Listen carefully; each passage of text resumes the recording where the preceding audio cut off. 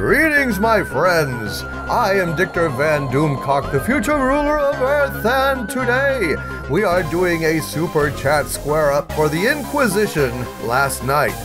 I promised that I would go ahead and do this, and I am good to my word. We leave no super chats behind in the Inquisition or on my channel.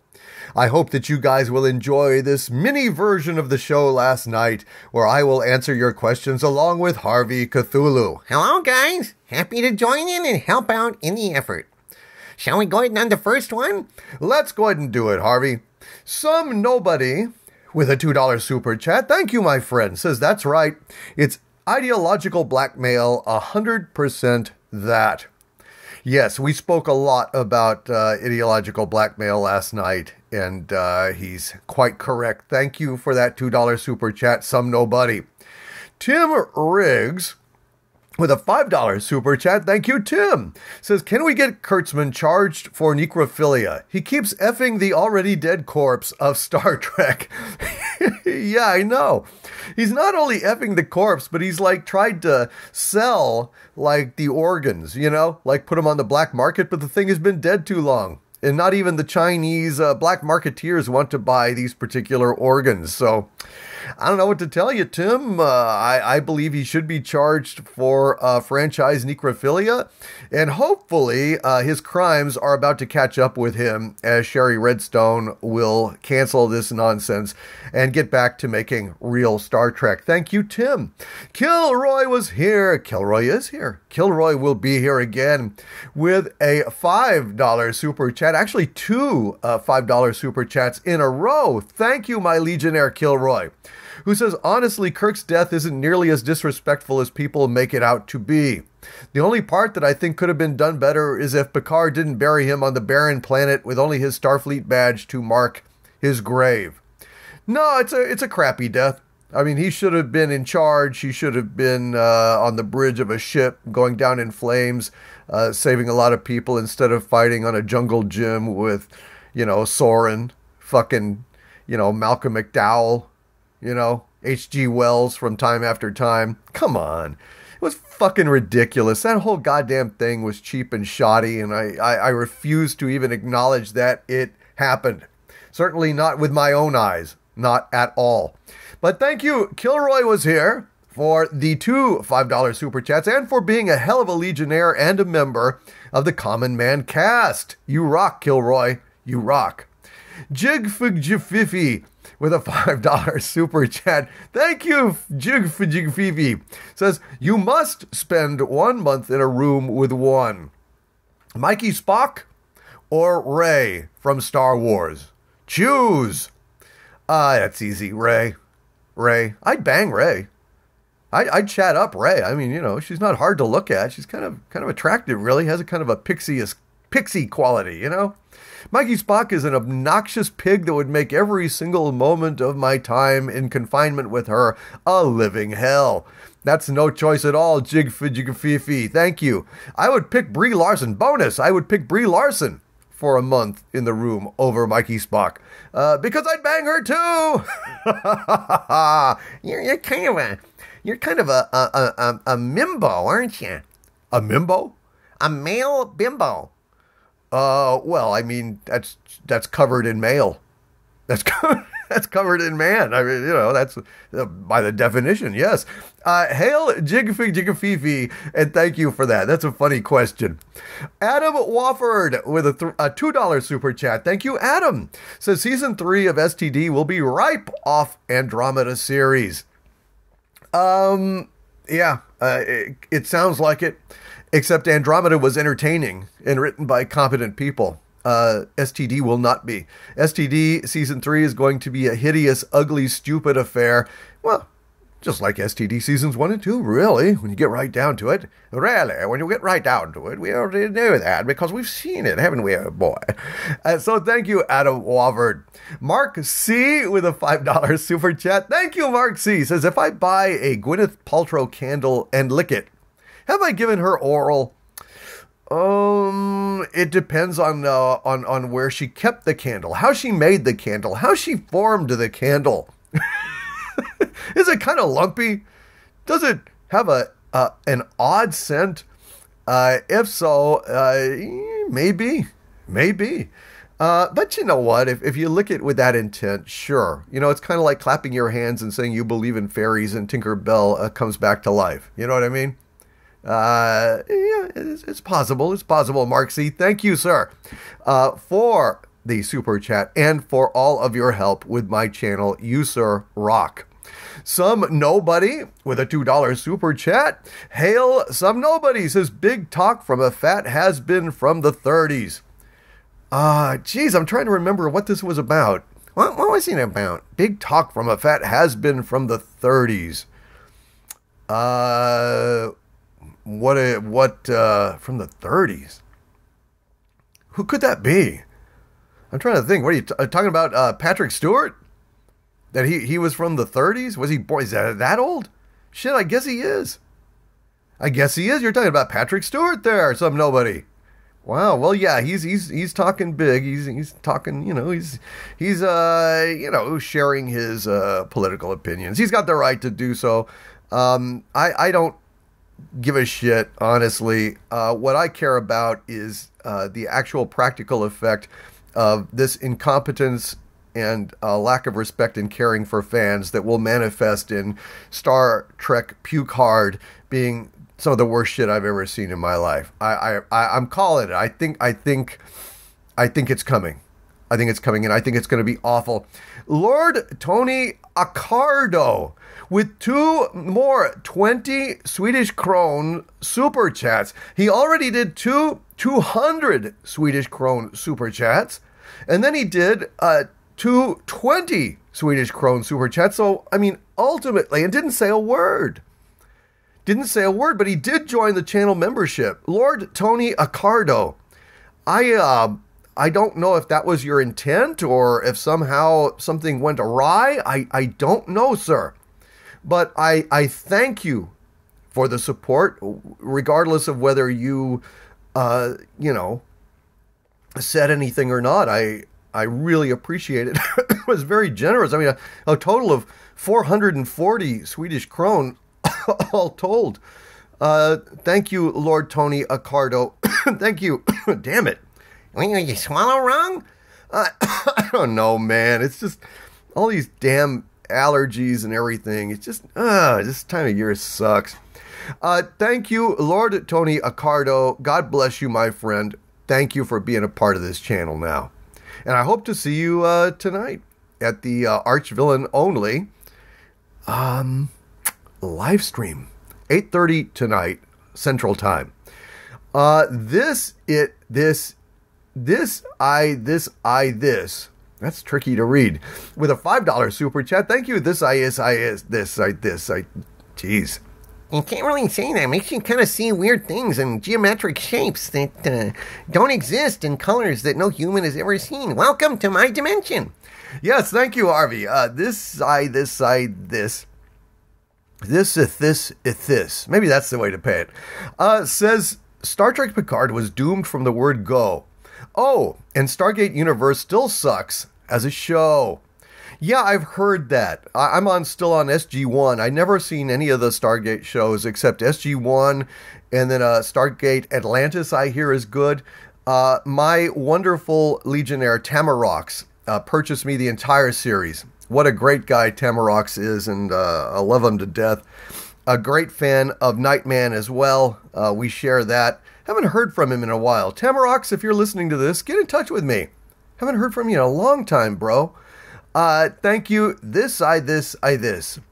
Uh, Darkstar57 with a 499 super chat. My friend, you are too kind, sir. Welcome back. Welcome back. And Darkstar57 says, I said it once. I will say it again.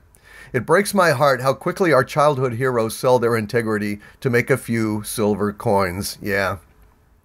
Yeah, it's hard. It's heartbreaking. It's absolutely heartbreaking. Uh, Darkstar 57, and I don't know. There's well, well, they're not fans. They don't give a shit, and so of course, uh, somebody who isn't emotionally invested in your dreams will sell them very cheaply. It's a shame. And it's a shame that they don't have enough professional pride in themselves or in the thing that they've been hired to adapt to do a good job of it.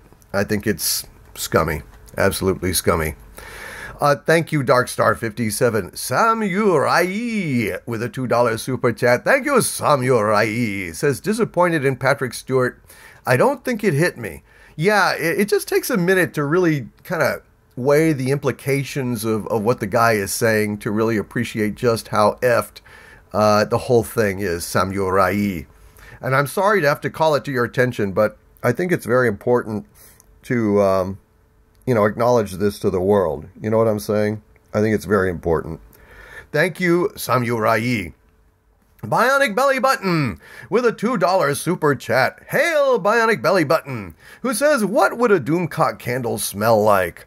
Oh, all sorts of really, really, really clever answers are coming to mind, but I think I will jettison all of them. Why, why, why, why would you do that?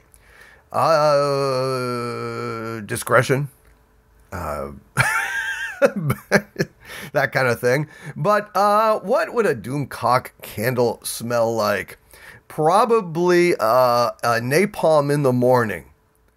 That's what a Doomcock candle would smell like. Napalm in the morning. You get that gasoline smell up in your nose. Nothing else in the world smells like it. Smells like victory. That's what a Doomcock candle would smell like. Bionic belly button. Nee, nee, nee, nee, nee. Thank you very, very much for that. Samurai with a $10 super chat. Thank you, Samuel Samurai. Says, F this. I took Roddenberry's vision for humanity to heart, not so different from religious people who expect an afterlife, and Stewart just shit all over it. Maybe idiocracy is going to be our true future. It would not surprise me at all, Samurai. Would not surprise me at all. The indications are that people are getting stupider all the time.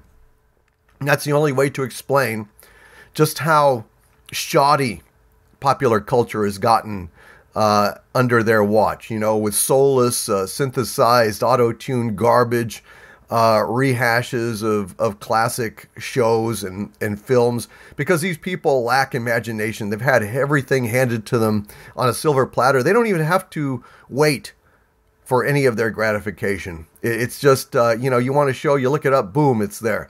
It's kind of like the uh, the Krell in Forbidden Planet, where things have gotten so easy, so lazy. I mean, those of us who were alive uh, when the internet was just in its infancy uh, had a a glimpse of, you know, how um, how the real world appeared to our ancestors. You know, you had to wait for things, you had to look for things. Uh, if they aired something, you had to show up for it, or you had to. If you had a VHS, of course, uh, you know, you tape it. That's that's true, but you still had to wait. And commercials were not so easy to zap back then. Uh, it gives you a keener appreciation for the miracles of uh, of our modern technological world that they don't have. All they feel is impatience and entitlement, and uh, they've gotten lazy and stupid. And, and I don't see that trend reversing anytime soon. Thank you, Samurai. I too took Roddenberry's vision for humanity to heart. I really did, and and uh, for Stewart to just crap all over it and and just dismiss it because it's like a whim to that son of a bitch. I find that deeply offensive. My new channel member Grimmy, aka Grimy, with a $2 Australian super chat. Thank you, my friend. Says, yes, please, at Tyron BD. Got my $10. Thank you so much, Grimmy, aka Grimy, a fellow Australian, to Tyron Beard, who threw down the gauntlet and challenged people to join my channel membership because, well, that's the kind of Legionnaire pal he is. Thank you, Tyron Beard, and thank you, Grimmy, aka Grimy. So proud of you guys. You guys rock. Thank you for supporting my channel. Makes a big difference. Jay Paula 821 with a $2 super chat. Thank you, Jay Paula. Says, found out Wheaton upset his SJWs two years ago. LOL. Really? Oh, I'd like to hear that tale, Jay Paula 821. Why don't you uh, shoot me a line on that? You know how to find me. You're one of my legionnaires just DM me on Patreon. I'd like to hear the tale of how Wheaton went astray in the eyes of his SJW punklings. Thank you, J. Paula 821. Catherine Greer with a two, two, two dollar super chats in a row. Thank you very much, Catherine Greer, who asks any thoughts on Seth going to NBC, and then follows it up with sorry if you have talked about it already. Look, um, I don't think it's good. I don't think it's good. I, I have not uh, spoken to any sources about it. Um, anything that pulls Seth MacFarlane's focus away from the Orville is a bad thing. And I just think that, you know, a bird in the hand is worth five in the bush, frankly. I, I think you've got this show that is building in momentum and is developing a, a deep fan base like Star Trek had. You'd be a fool if you allowed it to follow the fate of the original Star Trek and only go three seasons and then try go chasing after uh, garbage on NBC. Prime television network fare is tepid garbage almost always. Almost always. It may pay in the short term, Seth MacFarlane, but ultimately it's going to pay a lot more for you to stick with who brung you dance with who brung you, make entertainment with who brung you, and then stick it out. And in 10 years, you are a mogul controlling a Star Trek sized empire. For God's sake, Seth, for God's sakes, please, please don't go down this road. Go ahead and develop shit for NBC. Take your 200 million, but do not abandon the Orville. Because if you do, you'll regret it. Maybe not today and maybe not tomorrow, but soon and for the rest of your life. Makini90 with a $5 super chat. Hail, Makini90, who says we need to get to a point where quality is one of the factors of what will do well and sell well, along with good marketing. You mean like in the 50s and 60s and 70s and 80s and 90s? you know, those old fashioned values of quality and integrity? I, I I agree a thousand percent Makini 90. I could not possibly agree more. And uh, oh my God, it really, quality should be the main factor. The main factor. Because without respect, we reject, and quality is inherently respectful. Quality is respectful to the audience, quality is respectful to the property, and quality is respectful to ourselves when we do it. It shows that we respect our work. We, we, we value what we do. We value ourselves. And I think Hollywood is on a, like, some kind of weird, twisted, uh, self loathing kick where ultimately we're suffering for their self loathing and their sins. And I, I find it absolutely reprehensible. Thank you, Makini90. Some nobody with a pair of two, two, two $2 super chats in a row. Thank you, some nobody, who says, Seth's kind of a playboy. Forced out, maybe? No, no, I don't think so. Not at all. Uh, some nobody. I mean, if uh, if they were forcing him out from Fox uh, because of some kind of pound me too stuff, uh, NBC isn't gonna snatch up his contract. No, he he got lured over because of more money because of his success. It's it's got nothing to do with any kind of Playboy thing or Me Too thing. I I, I would be extremely surprised. It would look differently. It would, manifest differently. Some nobody. Uh, but that's an interesting idea. And then some nobody also says, Gary, you read my email about Hatsune Miku yet? Uh, I unfortunately I can't answer that. I don't know some nobody, but uh, I'll try to remember to uh, shoot him a a question and see see if he uh, if he did that. Um, Dix, uh, no, uh, JC with a five dollar super chat. Thank you, JC, very much for that. JC says, Thank you for all the great content, both of you. You are very welcome, JC. Thank you for your support. It means a lot to us. Dix Pix with a $2 super chat. Thank you, Dix Pix, who says, My fear is Baby Yoda equals Ho Palpatine returns.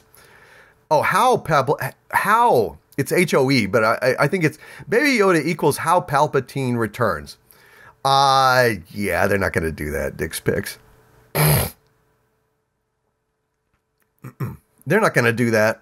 Uh, they, I mean, Baby Yoda is their, you know, bread and butter, their gold mine. I, there's no way that they're going to uh, turn Baby Yoda evil. It's just not going to happen. Not going to happen. Jesus. Baby Yoda's so cute. They're going to sell so many toys next Christmas. They're, not going to do that. But uh, interesting idea. No, I, I, think Palpatine is is basically Rey. Uh, Rey, uh, her eyes are going to start glowing yellow. I tr- trust me, it's going to happen. It's going to happen. They just didn't show it to us. It's one of the cuts that they made. The whole thing is about Sheev Palpatine, start to finish. It was his saga, and we just didn't know it. So there you go. Mexican Iron Man with a $19.99 Superman, uh, Superman, super chat from Mexican Iron Man.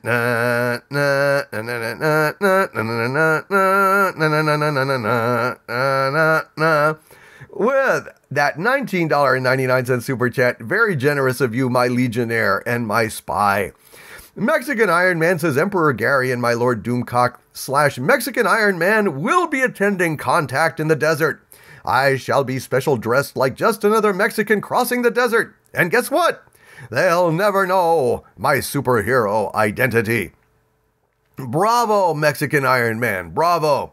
I just know that you and I are fated to meet one day, my friend. I don't know if it will be at Contact in the Desert or elsewhere, but I can tell you it must happen.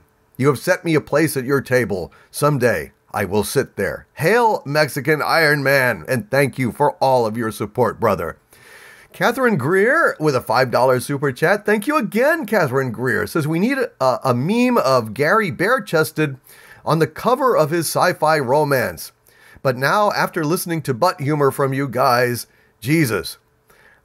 well, if I scared you away from wanting to see Gary bare chested on the cover of a sci fi romance novel, uh, good. Good. Mission accomplished. Nobody should see that. I mean, I, you know, I love Gary to death, but you know, come on. I don't want to. I don't want to see that. Ugh. Uh, just. Uh, it's just not uh, savoring. That that's a good way to put it, Harvey. Savory, savory. Thank you, Catherine Greer. And I, uh, yeah, the butt humor was, uh, ha ha ha, oh, stupid. Yeah, yeah, it's kind of stupid. Thank you, Catherine Greer. I hope that we amused you even as we repulsed you.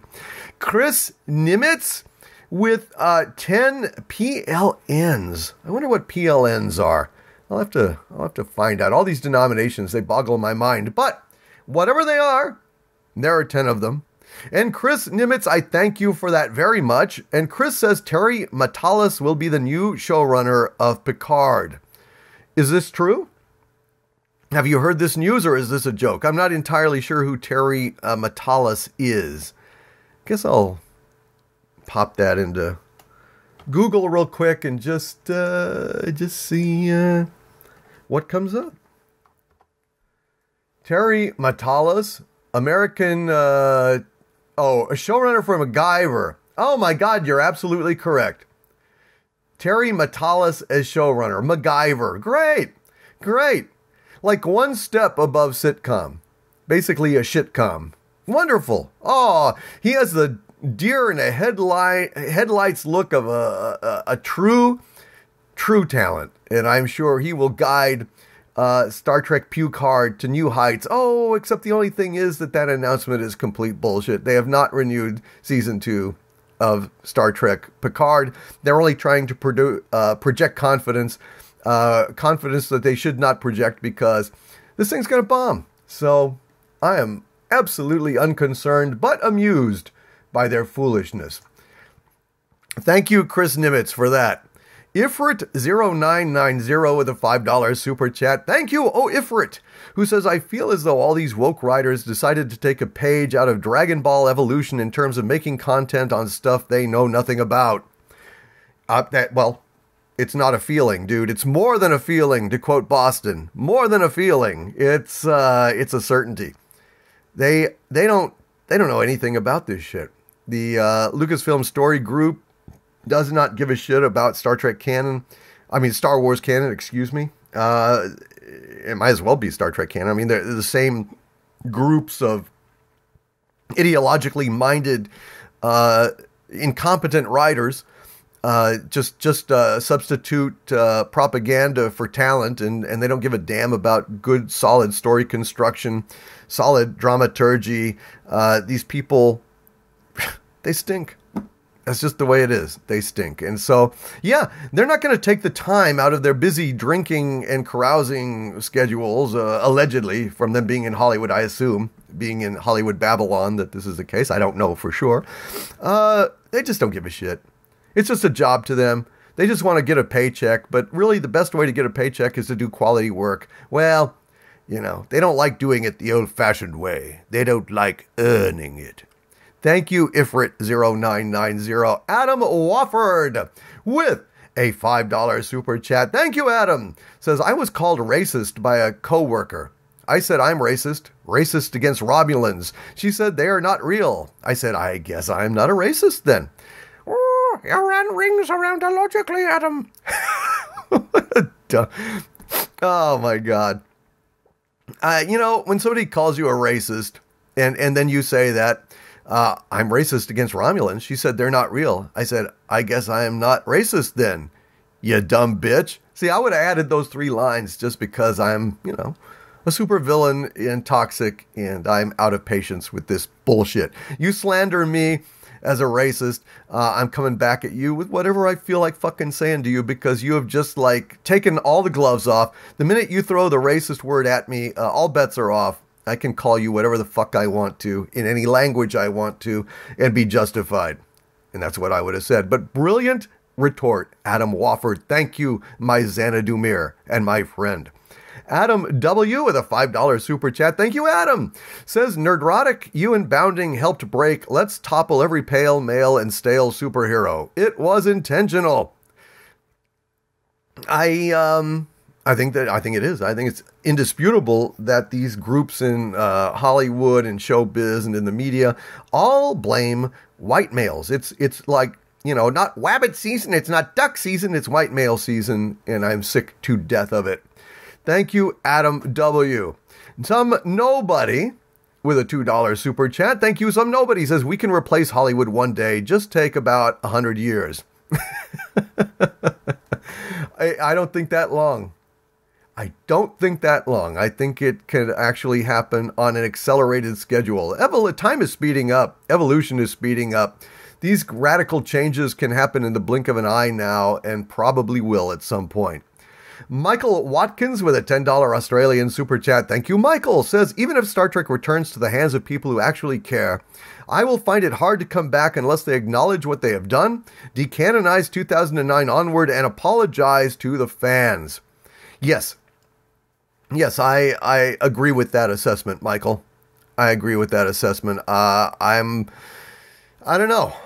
I don't know. I don't know it, it will depend. It ha- it's going to have to. It's going to basically be uh, like, you know, directly proportional to how outstanding their work is.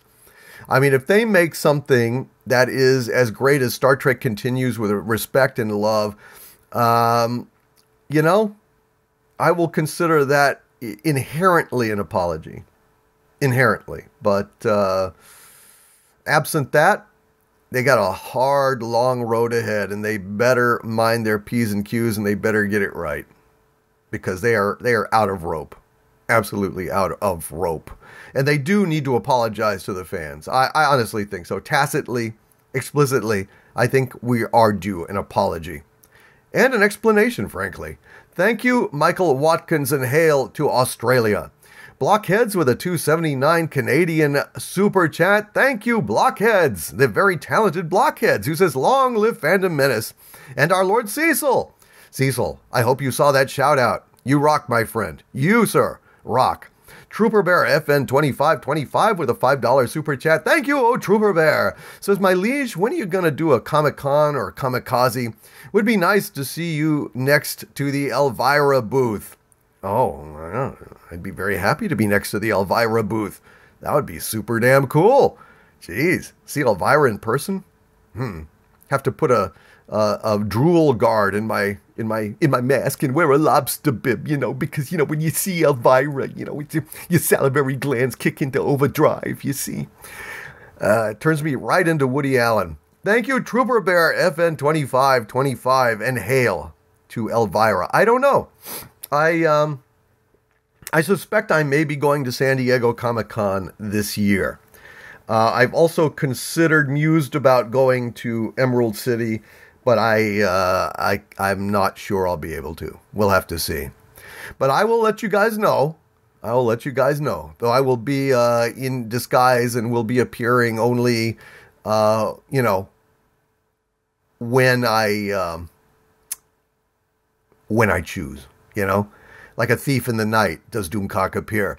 Thank you, Trooper Bear, FN2525, Dixon Cider, with a $5 super chat. Thank you, Dixon, says, still owe you both the steak dinner of your choosing. I truly love the no nonsense way you tell the truth. A couple of Ricky Gervaises. Wow. High praise indeed, Dixon Cider. High praise indeed. Thank you very, very much, my friend. It, it'll probably happen one day. It'll probably happen one day. It will just, uh, it will have to be uh, timed correctly and covert and uh, discreet. Thank you, Dixon Cider. Brian with a $1.99 super chat. Thank you, Brian. Says the Picard Countdown comic is low key good. I find that extremely hard to believe, Brian, but I do appreciate, sir, you listening on the Inquisition and your support of the channel with this $1.99 super chat. It helps. It helps. Every bit helps, you guys keeps us on the air, keeps us going, keeps the lights on around here. Extremely much appreciated, folks. Ryan Landis with a $5 super chat. Thank you, Ryan. Says, thanks for telling me about The Expanse. I binged four seasons and ordered the first book. I keep expecting it to take a turn and get dumb, but it doesn't. Not not so far. Not in four seasons has it gotten dumb. So I thank God for that because it's written by people who have talent and who care. It's that simple.